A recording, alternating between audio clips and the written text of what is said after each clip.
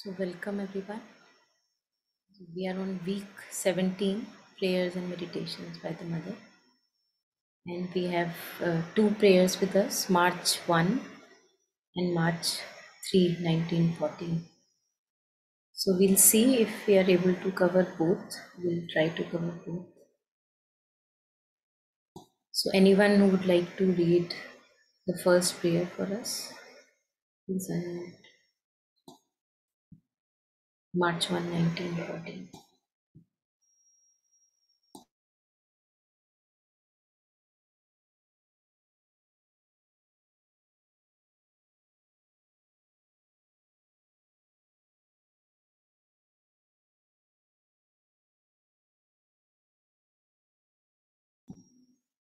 Okay, I can read it. It is in one's own self that all the obstacles lie. It is in one's own self that all the difficulties are found. It is in one's own self that there is all the darkness and ignorance. Were we to travel throughout the earth, were we to go and bury ourselves in some solitude, break with all our habits, lead the most ascetic life, yet if some bond of illusion held back our consciousness far from thy absolute consciousness, if some egoistic attachment cut us off from the integral communion with thy divine love, we would be no nearer thee despite all our outer circumstances. Can any circumstances be considered more or less favorable? I doubt. It is the idea we have about them which enables us to profit much or little by the lessons they give us.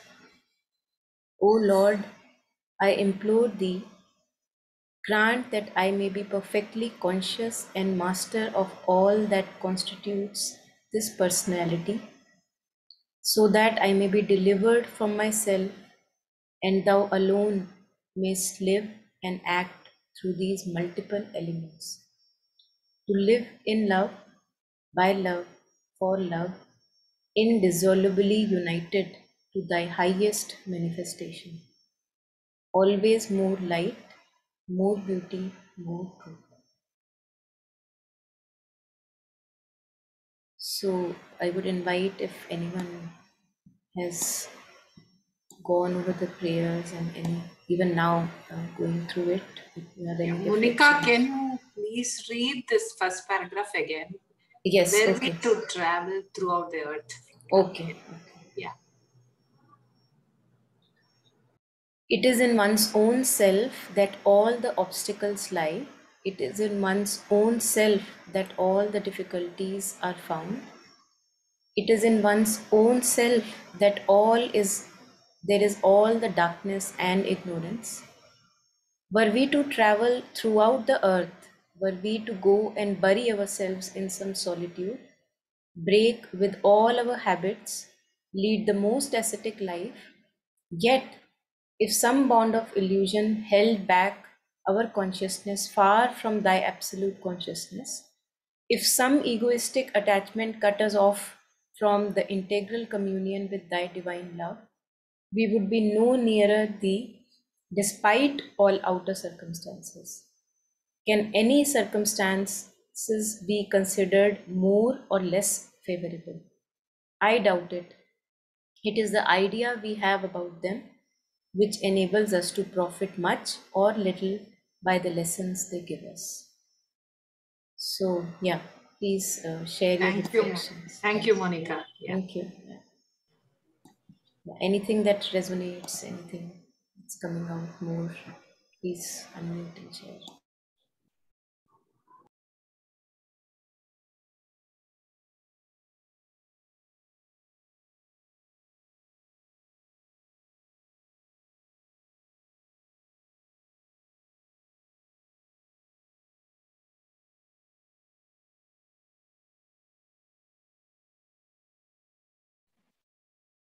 Yeah, um,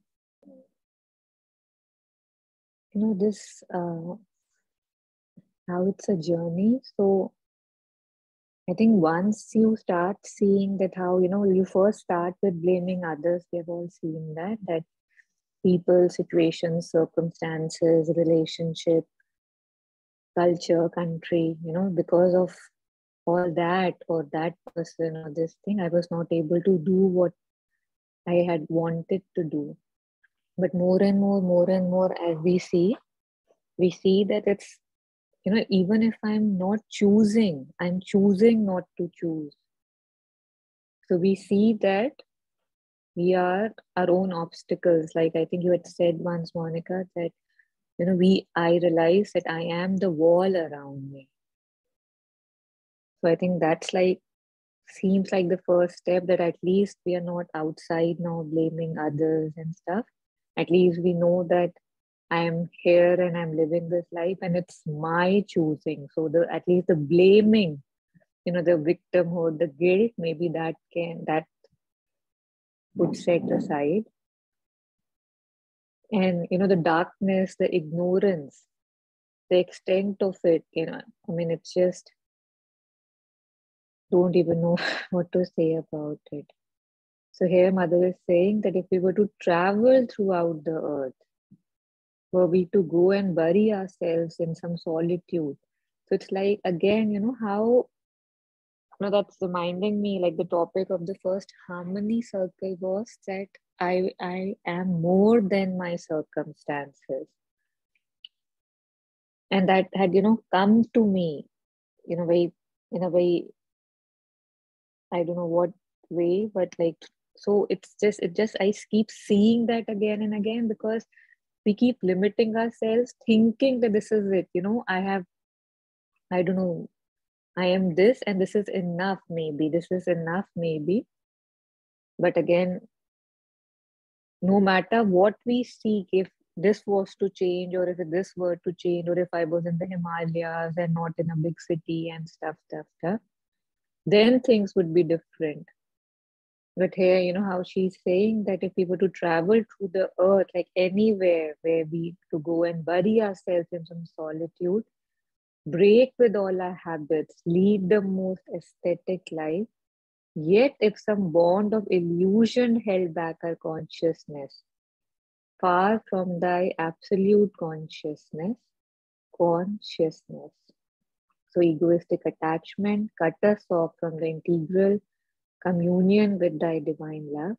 We would be no nearer thee despite all outer circumstances. You know, this when I read it like just before the session, it felt both, you know, kind of sad because you realize how far you are. I mean, at least in your mind, you know, because you see how tied up you are, so attached to so many things. And of course, you know, at least the other thing is that there is a way out. I mean, there would be, I mean, this is also a state that is achievable. So it was, it went both ways. But it's good to have this reaffirmation that I can keep blaming if I want to, but that's just, you know, me being childish or ignorant. And no circumstances are more or less favorable. I mean, it's like it's, you know, all about my will, my sincerity, my offering, my surrender. I don't know, my sincerity. I know I'm repeating that word again. So she says, I doubt it. It is the idea we have about them which enables us to profit much or less by the lessons they give us. So, this we see so often, right? Like if something happens to us, we kind of first get into the you know drama of the thing this happened that happened this this is how the other person reacted this is how i reacted and we forget to see we you know we are unable to see what the situation or the person is trying to teach us, is trying to get us out of. But so if we can just, so this is again, you know, not something that we need to be reminded again and again and again. That you know that Kabir Doha, I don't know uh, the exact words, that how you know you uh, Kabir's, uh, you know, he would pick up the main stuff and leave the stuff that's not needed. That tota tota devudai. I don't know how that starts. It's not coming to me. So it also becomes like a practice, you know, when I'm kind of, if I see myself wanting to blame or crib a bit. So again, it's like I've lost my focus and one can again, you know, I don't know, point their compass where one wants to. And it's, you know, while reading this, it also feels a bit, again, I don't know, a bit low that, you know, how many times I've heard this and how clear this is and how there's no doubt. And yet I see so many places where, you know, I can do better. So you know, uh, I think I remember reading once there was this person who used to go to a guru and he would say that, you know, kal bhi aapne ye bola tha ya do hafte pehle bhi you had repeated the same thing, you keep repeating the same thing. And the guru, you know, asked him that I repeated it, but did you listen? Like, did you listen the first time, the second time, the third time? So because you don't listen, I have to repeat. So I think that's what I felt here too, that now listen, now listen. So, Lord, I implore thee, grant that I may be perfectly conscious and master of all that constitutes this person, personality, so that I may be delivered from myself, and thou alone may live and act through these multiple elements. So, one thing is for certain that if I leave it to myself or if I pick it up myself, I don't see how I can move ahead or how I can move beyond. Unless, you know, again, when I, if I'm, unless I'm surrendered, unless she takes it up, he takes it up, it's being, I, yeah, so to live in love, by love, for love, indissolubly united to thy highest manifestation. Always more light, more beauty, more truth. So, perfection is not a point, it's a process. So, yeah, thank you. Thank you so much.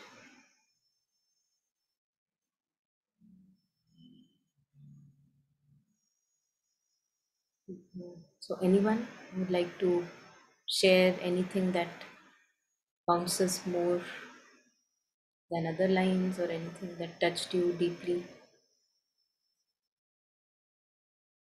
Anything that you resonate with?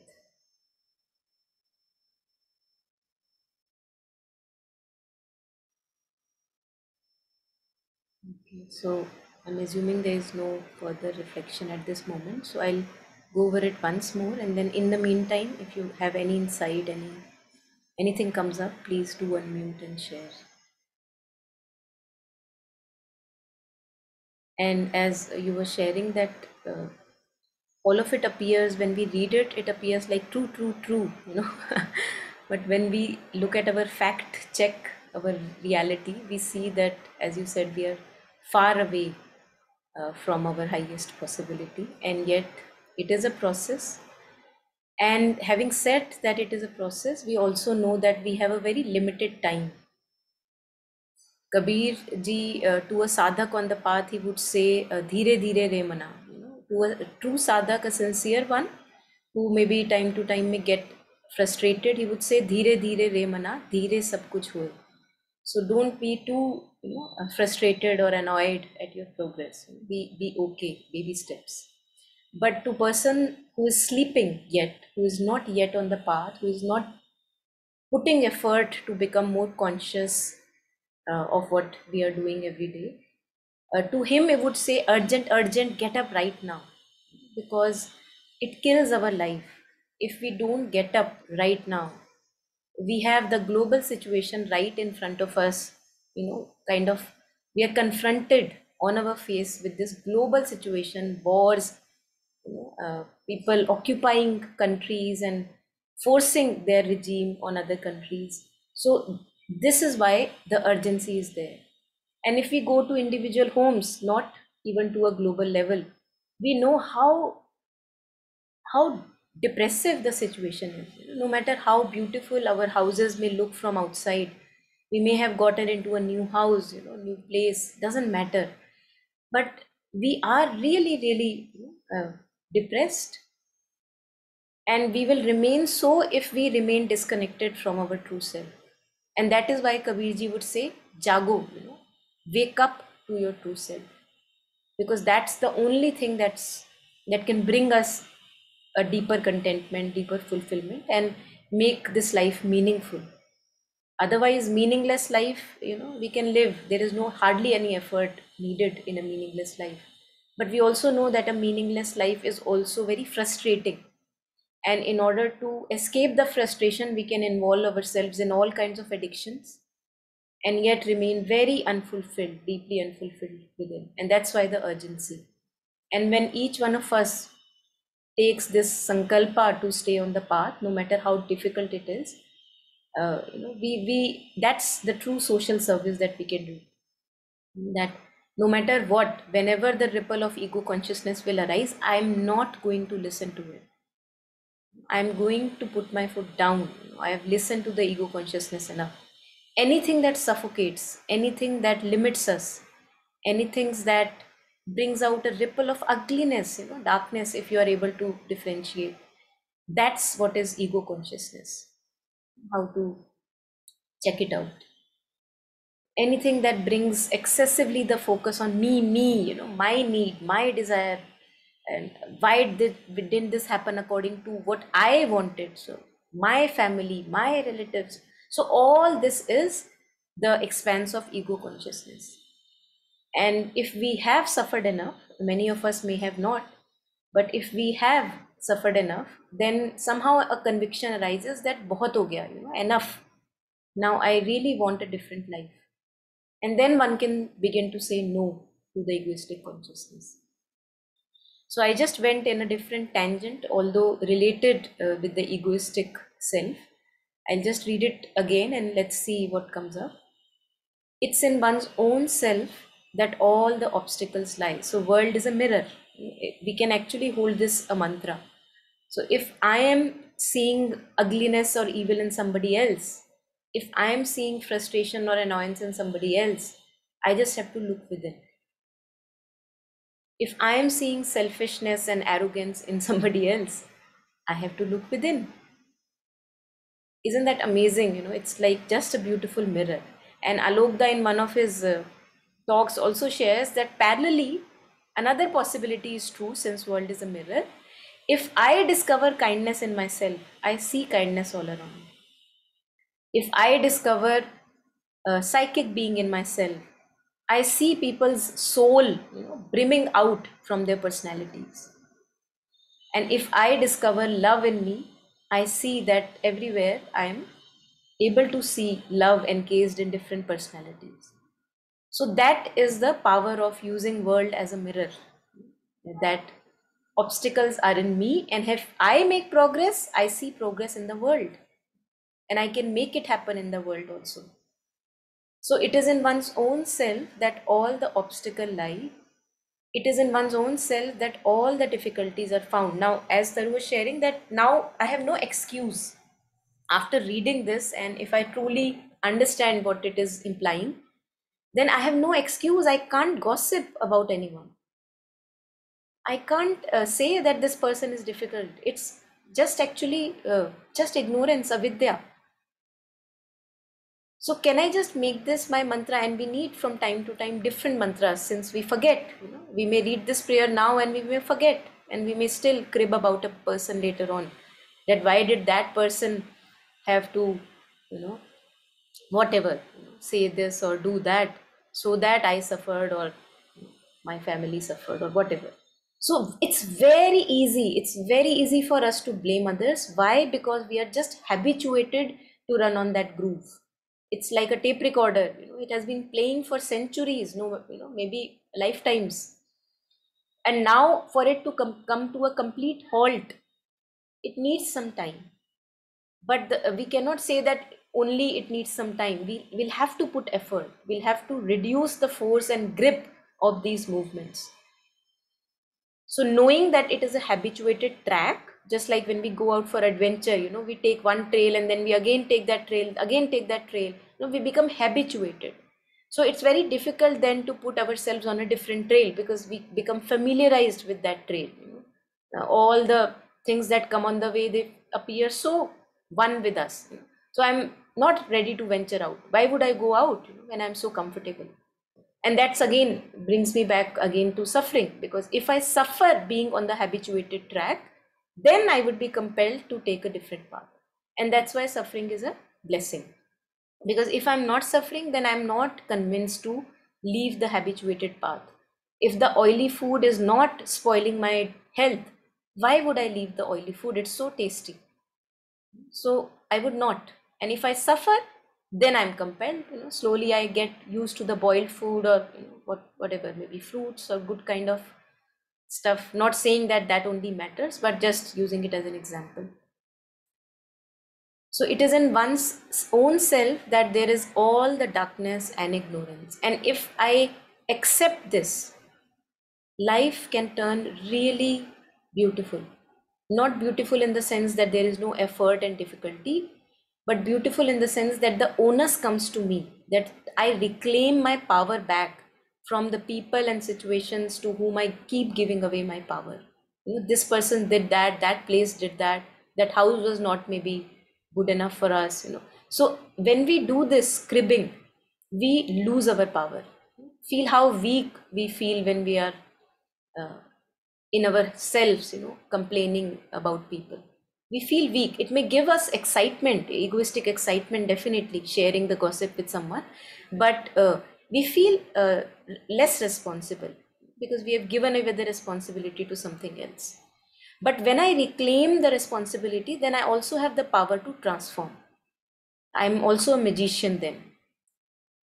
So if i accept that in me is the darkness that i see in the other person then i also make the necessary steps to transform that darkness or find light in that darkness. And hence i also become capable that if i see darkness in someone else i would be able to empathize. You know i would not neglect that person or reject that no you are an evil person and you know too selfish too arrogant. Why? Because i have seen the arrogance and selfishness in myself. And i have seen that it is able to i can transmute it i can transform it i can be better. So the same thing in the other person. So no matter how evil the other person may appear how depressed the other person may appear. If i can come out of my depression the other person also can because the enlightened nature the divine presence is there with each one of us. Untarnished kept safe as Sri Aurobindo says in Savitri. So this is how we reclaim power to work with ourselves and others. And this uh, paragraph the second you know this uh, starting from here this really relates with kabir's couplet and also a song where he says teri kaya nagar ka kaun dhani marag mein loote panch jani so he says that who is the master of your body? The master is not home. And the deers of the senses they are looting away all the interpretations of the mind all the material input that comes to the senses. They are looting away your sanctuary. Who where is the master of your body? Referring to the mind alertness. And then later on he says ban mein lut gaya munijan nanga das gai mamta ulta tanga so he says even when i go into forest a muni or a yogi or a sadhu ascetic you know he may think that whoa what a perfect place to practice you know. Forest and in the middle of nature nobody around no human beings no evil ugliness around but his own mind is around. And if he's attached to all these images about himself and others he is as mother says uh, you know if some egoistic attachment cuts us off from the integral communion with thy divine love we would be no nearer thee despite all outer circumstances so i may be sitting in the best place possible in this world you know perfect solitude perfect greenery and you know all the people are nice and in their own areas. But if my mind is crowded with attachments, then there is no communion with the divine love. And with this, uh, Kabirji also says that, uh, you know, तूने कितना पढ़ लिया? Two, three couplets, you know, I'm getting reminded of where he says that, uh, लिख लिख के पत्थर भयो पढ़ी पढ़ी भयो है ईट कहे कबीर तोहे प्रेम की लागी ना एक ही he says that reading and writing and reflecting you have become like a stone you know like a rigid stone and uh, i don't consider you a scholar because uh, you don't even have one speck or one drop of love in you. And this we see with uh, you know many of us who become scholars in their own right. I may be a beautiful researcher but when i interact with people when i interact with my own self there is no love. There is such coldness indifference. And i just want my place. You know i should be comfortable i should be my, with my books but rest of the world may go to hell. Doesn't matter. So he says that the true mark of a pandit is that his heart is open and his heart is full of love. Where he says pothi pad pad jag pandit vaya na dhai akhar prem ke pade so pandit hoye so and we we may have seen our, our relatives you know many many relatives especially in old times where you know they're full of love. They have not read any scriptures but when it comes to interaction with people they're always full of love selfless altruistic love. So that's what uh, i think we have to open either through the scriptures without the scriptures that doesn't matter. Is my heart open? Or is it opening? Am i ready to open my heart? Do i see the locks on the doors of my heart? Because if i don't see the locks and if it, if i only complain about other people's locks the, how unloving and how unfriendly others are. There is no hope for me. So this has to come back to myself. As they say you know be the change you want to see in the world. So it's the same in this also that i have to become love if i want to see love around me so being conscious of these bonds of illusions which when we practice mindfulness when we become mindful of our thoughts what we are doing our postures you know our habits uh, we see the ripples arising. We see the illusions arising and we can step back. In mindfulness we can step back. So it's not that the illusion has completely uh, loosened the grip over me. It is still there. I can see it but now i have had it enough and i don't want to follow the dictates so in that mindfulness i can step back and create a new path can any circumstances be considered more or less favorable you know so biggest example we have Sri Aurobindo in Alipur jail. I don't think there is any good example than that. And in the beginning, he did suffer. He said, you know, that why am I here? Why did you bring me here? But then he also heard that uh, you are here because uh, you have to do some work which you were not able to do there where you were engaged. So now do that work. And he says also that the mind was so violent and uh, untamed in the beginning when he started all the meditations in the jail but that's how all of us start and but with persistence things happen if i'm convinced that this is the path for for me to go things happen things change so can any circumstances be considered more or less favorable now there is no excuse i can have that my kids don't allow it you know i don't get the time my relatives are around you know these are all excuses that we have in the middle of everything I can be mindful, I can be love. And that's the path. That's the path. That's the greatest discovery. In the middle of battlefield. I doubt it. It is the idea that we have about them which enables us to profit much or little by the lessons they give us. So idea, for example, I may have an idea that that you know if i go to taru was using the word himalayas you know for example if i go to himalayas then my concentration will be amazing is that true? Is that truly true? All the people living on Himalayas have an absolute concentration.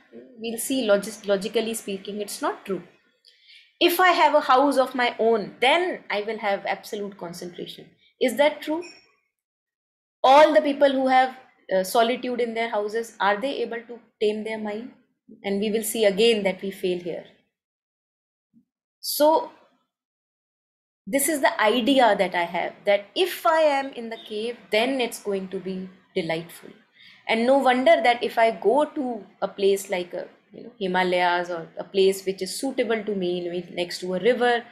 It's the idea in my mind that is giving me the relief.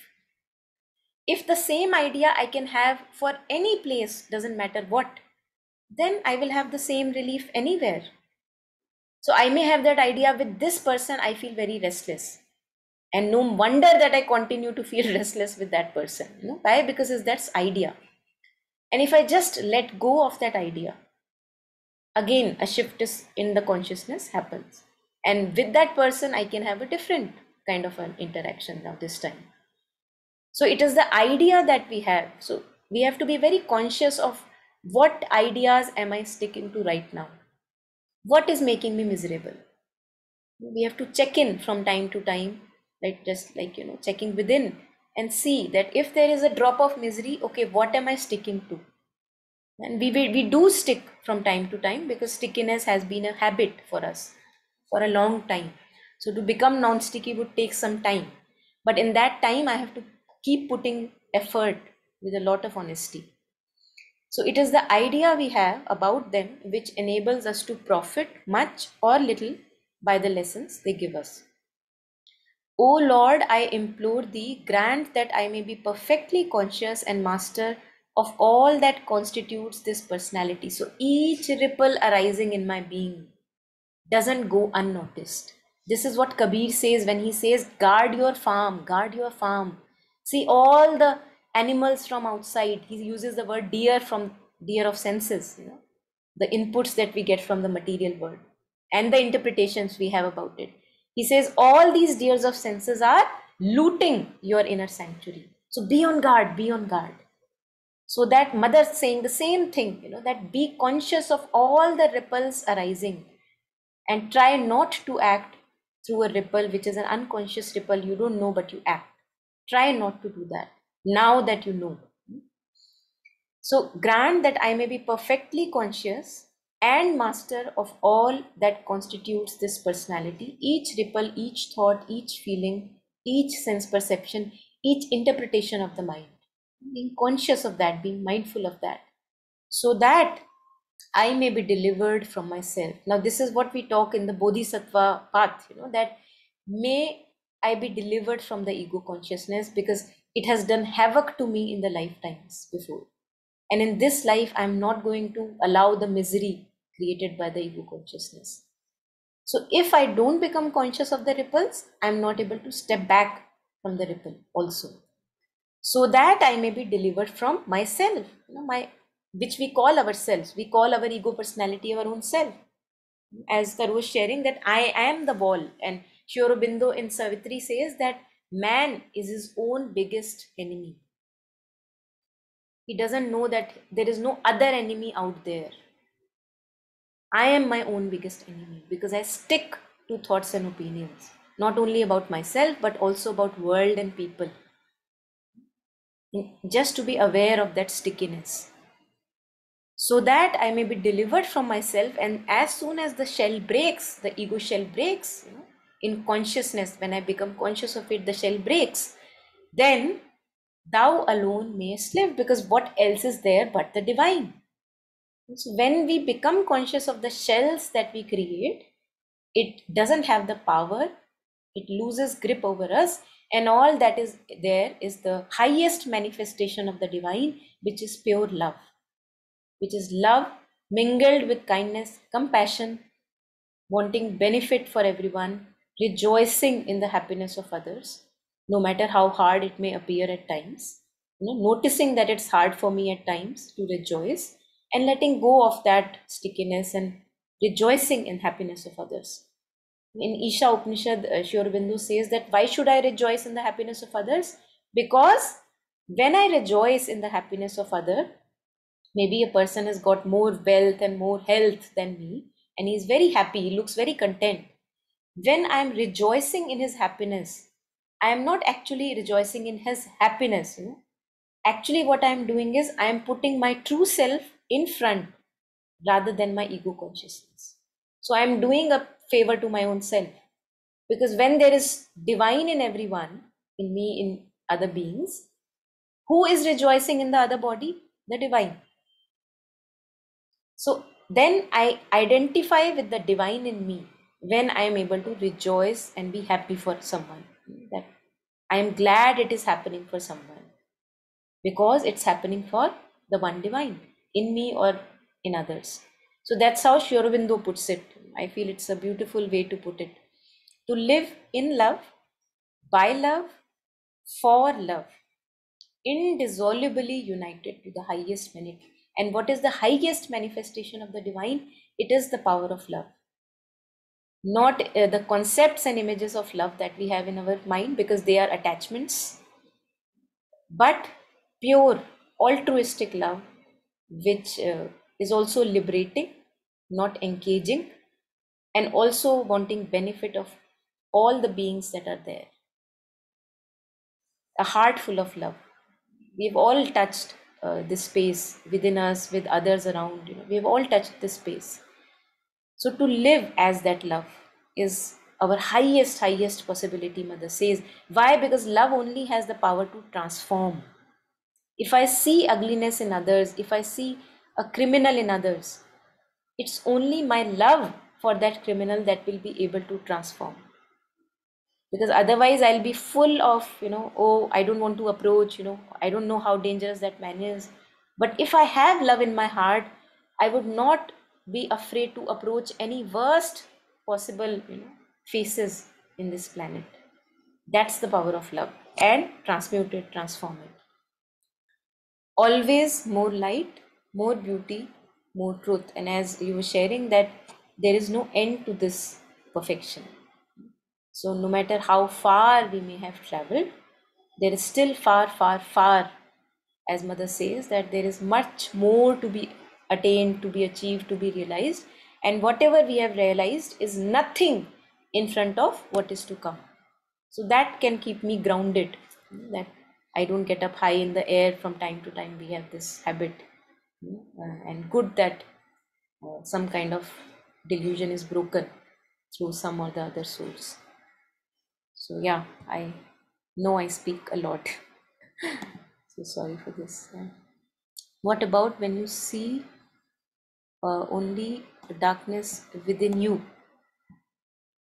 Um, i think this is not a possibility so somewhere i feel you know again just sharing personally check it out within also. I feel that this is not a possibility. It's not a possibility that i'm feeling love and light and beauty and harmony everywhere but darkness in me only. I feel that that's not a possibility.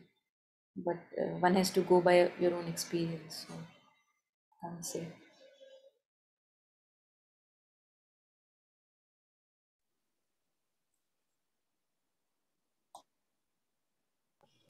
Yeah, Monica, so just now you said we we are able to see the darkness in others first. Then afterwards, uh, you know, after some time, after some uh, stages of suffering, you know, Hmm. we are able to see that you know we also I also have the same uh, weakness in me. Hmm, Okay, today. So this um, prayers is very very apt. See, mother gives answers to everyone in in their own way. hmm, You know. Hmm. So today I was you know going through some uh, tension. So this is the best answer for that. You know, Hmm. when something bad happens, then only we we check ourselves Hmm. how far we have progressed and what is the steps to take in future Yeah. to you know attain to this perfection. As you said there is no end for this perfection. Hmm. very true. But you know we have to take little baby steps as you said. Yeah. Yeah. I'm able to see you know some darkness in others very very easily. Hmm. but you know after speaking about them to someone so we realize oh what is this? That Hmm. same ego which is attracting. My ego is only attracting their ego then Hmm. why do you why do you talk bad about others i was questioning myself in the evening Hmm. so this is a beautiful answer for that you know Hmm. time to time all this uh, drama happens Yeah. to check ourselves. Yeah. yeah. Absolutely. Yes. yeah, beautiful. Yeah. Thank you for Only, see, uh, our ego is only attracting the, their, you know, somebody else's ego, or how Hmm. is that? Hmm. You're asking or you're sharing? Yeah, I'm asking. I'm asking you. Say it again. Yeah, see, I have ego. I'm Mhm. able to see somebody else is not talking to me properly. Hmm. They are very rude. Hmm. Okay. So after some time, I feel very bad why this person is behaving this way. Hmm. Hmm. So uh, after coming home, we'll be thinking about that, thinking of what is wrong, what is wrong, what what is bothering me, and what is bothering them. Hmm. Why why there is no harmony in this relationship. Hmm. So uh, after so many you know dwelling, I find out. I found out today afternoon that you know I have ego. Hmm. See, if they are not talking to me properly, that means I also have the same egoistic something. Something is triggering them to not to talk to me properly. So is it so? Is it true? I'm just asking you. You know, uh, there is a story which I maybe with Alokda I heard this story where there is a sadhu um, who is going along with his disciple to various villages, and uh, he asked, they ask, you know, that how are the people in this village, and everybody had a different answer. So one would say beautiful people, lovely, you know, uh, surroundings, and the other one would say that you know very bad people, very. so uh, that's I would say uh, it also kind of uh, hints me towards an answer to what you were sharing, because as Alokda also shares that if I'm if I have found a bit of kindness in me, uh, a bit of love in me, I see that coming from other places also. And if I'm too much about myself that I am the fixed one and others have to fixed fix themselves, then all that I see is uh, darkness and you know arrogance and selfishness, which I have to work with my own self. So I, I think that uh, it really these kind of situations are good that they happen because they ground us. They tell us that my work is far from complete and if i'm able to see darkness out there to judith tyberg you know who had psychic being in front jyoti priya to her mother said that for you of course the mission is divine work whatever you are doing spreading words of mother Sri but even for you she said that whatever difficulties you face in the outer world they are the absolute relation to what you have to face in the inner world. Isn't that amazing? You know to her uh, she she is saying to one who has found the psychic being and living from the psychic being even there the journey is not ending so for us mortal beings you know the journey is really a long one. So i think it really helps to just come back to my own self and also to realize that if an outer situation happens how easily i get swayed and how i how the mind just scatters itself in thoughts and stories that i have in the head and how i lose the touch with the home of the mind which is the body. I lose touch with breath. You know you would see when you are either when we are gossiping or when we are in our stories we have no idea about where breath is. Very true, very true. Yeah. and he uh, people have said that masters have said the home for the mind is the body. And when a mind is lost in the forest of thought it's not home. That's why we feel so restless. And our stories are not true because you may have a story in the head about a particular situation. I would say i have my own story so who is right and that that is the clash that's what we call ego clash so neither you are right neither i am right when we bring mind to the breath in the simplicity of the present moment then we are all right all right music ban gaya yeah Beautiful. The other day you showed, you shared on video. Hmm. uh, one person, the Buddhist monk. I, I I'm not able to pronounce his name. mm-hmm. This Oprah Winfrey was, you know. uh, Ah. uh-huh. Yeah, he was, you know, sharing, you know, how you you're always, you know, calm. So I have I'm trained like that. yeah i think taru must have shared that yes yes yeah. so, yeah. the other class, it was beautiful, and he didn't show any expression. You know, Yeah. very calm. absolutely yes yes so it shows how- that we have to put effort you know it doesn't come without training yeah beautiful See, once something happens after you know telling everything to somebody, then we realize, why should I talk like that? yeah if a scorpion stings, it is the nature of scorpion. Why do you want to go and put your Hmm. hand in that and say that you know it is stinging me? It's Hmm. not necessary. But you know, at, at, after you know each circumstance have comes like this, then only we are you know feeling oh, it's not right. You know one thing which comes to me is that we are not yet disenchanted from the world. We have a lot of glitter and attraction towards the world in the sense that something in the world of the material world is going me going to give me happiness. We are very sure about that. We don't Yes. lose hope. And this uh, buddhism starts with disenchantment.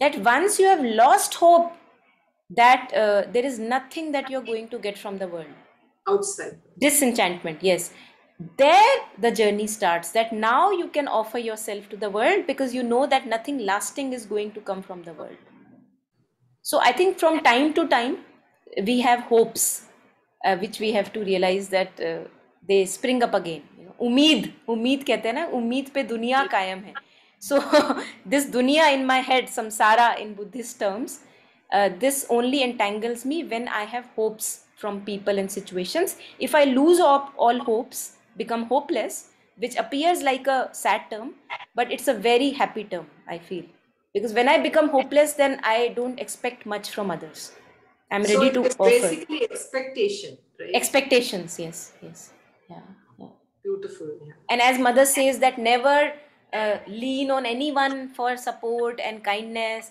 always lean on the divine but we forget So we think you know the other person is going to give us very Yeah. beautiful support. It happens, yeah.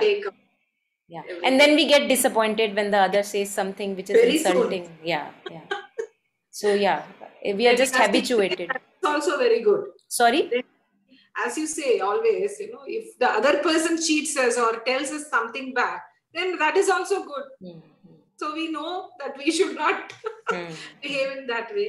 yeah and it's a good thing. So it, it is not to be taken in uh, in a sad way that you know people cheated me now i am i'm on my own. No not at all. Oh wow people cheated me. What else can i expect from this world? And Yeah. good because it brings us back to ourselves you know.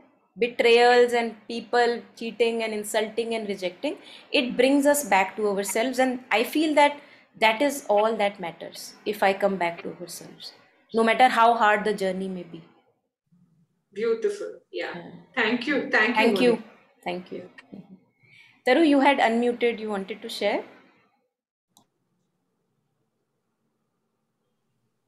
I think, uh, yeah, there was something I don't remember. I think it was about the darkness.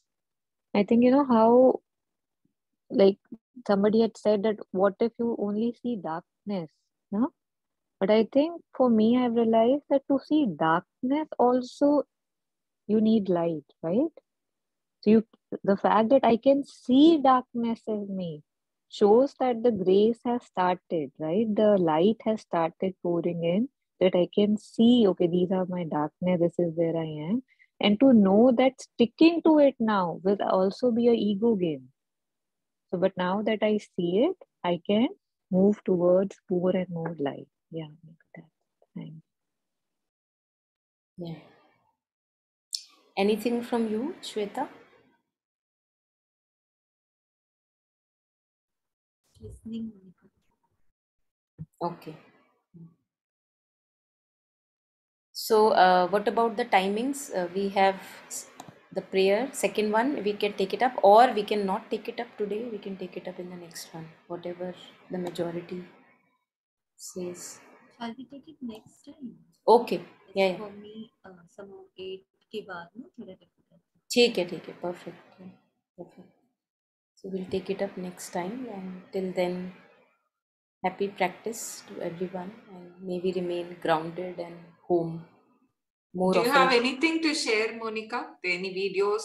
uh, today today not you've gotten addicted to videos Sharda ji Yes, yes. because you know the tidbits, you know, it gives lot of inputs.